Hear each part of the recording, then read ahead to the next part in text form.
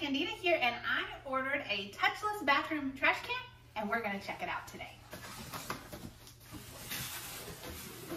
So it's simple, it comes in a box, and we're going to pull it out and see how it works. So the box itself, it just comes in a plastic wrap, and here is the trash can. So when we take it out, you can see here we've got the orange insert, and this is what's going to lock the trash sack in place. So when we open it up itself, we've got the instruction manual for the Smart Touchless Motion Sensor Bathroom Trash Can. This is the installation and instruction kit, and we've also got trash sacks. When we open it up, it tells us about the parts, and then we have the instructions for use.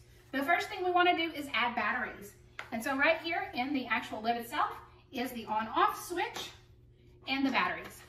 So we're going to pop this open. We're gonna add in our four AA batteries. And we're gonna turn it on. And then what we are going to do, according to the instructions, is we are going to put the garbage bag in. So, okay, what we wanna do is we wanna take this middle frame and we want to put it in and it is going to help suction up the trash can.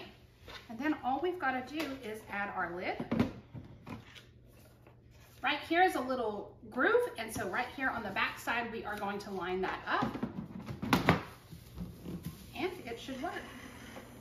Just like that, I wave my hand across it, and it opens up. As you can see on the trash can are lights, and so that's your timer. When the lights go out, that's when it's going to close. So you can see we've got five, four, three, two, one, boom, it closes just like that. So now I don't have to worry about touching anything or leaving my trash open in the bathroom. We're gonna have privacy, but all I've gotta do is wave my hand and it opens up.